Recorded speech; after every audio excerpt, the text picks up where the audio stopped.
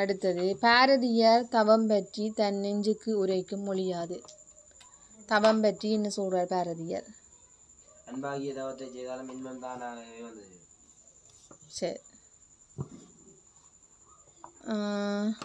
வள்ளுவர் வாய்மை பற்றி யாது கூறுகின்றார்?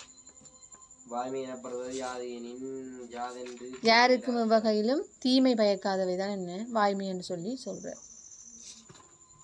அடுத்தது ஒரு பொய்மை எப்போது வாய்மையாக மாறக்கூடியது என வள்ளுவர் கூறுகின்றார்.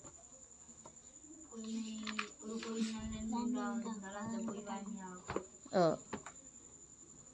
அடுத்து உண்மை பேசுபவர்களின் உயர்வு பற்றி வள்ளுவர் ஜாது கூறுகின்றார்.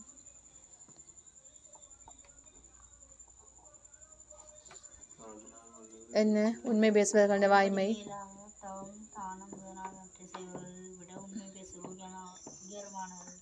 சரி அதே மாதிரி அகத்தூய்மையுடையவராக திகழ்வர்.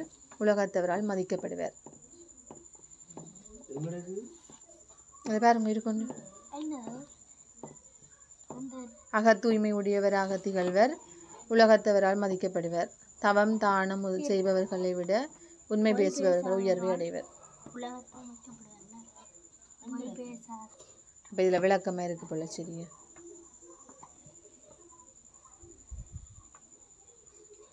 அடுத்தது பொய்மை பேசுபவர்கள் அடையும் இழிவு ஜாது பொய்மை பேசுபவர்கள் அடையும் இழிவு. என்னென்ன இழிவுகளை அடைவார்கள் பொய்மை பேசுபவர்கள்? நன்மை எதையும் அனுபவிக்க மாட்டார்கள். பாவம் செய்தவராகி இறைவன் தண்டனைக்கு உள்ளாவர். அவரின் மனச்சாட்சியே அவரை வருத்தும். இருக்கோ அடுத்தது ச- சத்தியம் ஒன்றே வெல்லும் என சத்தியம் ஒன்றே வெல்லும் அதுதான். அடுத்த உபநிடதம் உண்மை பேசு என்பதை வலியுறுத்த கூறும் கூற்று யாது?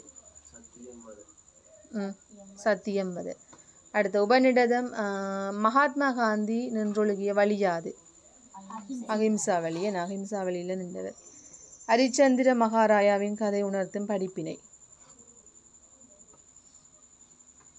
ஹரிச்சந்திர வழி போனவர் எத்தகைய துன்பங்களுக்கு ஆளான போதிலும் மீட்டில் இறையர்கள் புகழுக்கும் பாத்திரமாவான் என்பது. சரி. அடுத்தது நவீன யுகத்து ஹரிச்சந்திரன் என போற்றப்படுபவர் யார்? மகாத்மா காந்தி. இசனியம் வரும் நவீன யுகத்து ஹரிச்சந்திரன் என போற்றப்படுவர் மகாத்மா காந்தி. பாடசாலையில் மாணவர்கள் பின்பற்ற வேண்டிய விழுமியங்கள். என்னென்ன விழுமியங்களை பின்பற்றணும்?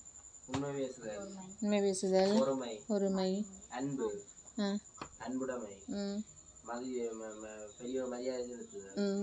வந்து ஒழுக்க விதிமுறைகளை வந்து ஒழுக்க விழுமியங்களை வந்து கடைப்பிடித்தல் கற்றலிலும் ஏனைய ஆக்கபூர்வமான விடயங்களும் ஈடுபடுதல் அனைவருடனும் அன்புடன் பழகுதல் பெரியோரை மதித்தல் அடுத்தது பாடசாலைக்கு ஆற்ற வேண்டிய கடமைகளை சரியாக செய்தல். சரி விளங்கினதோ?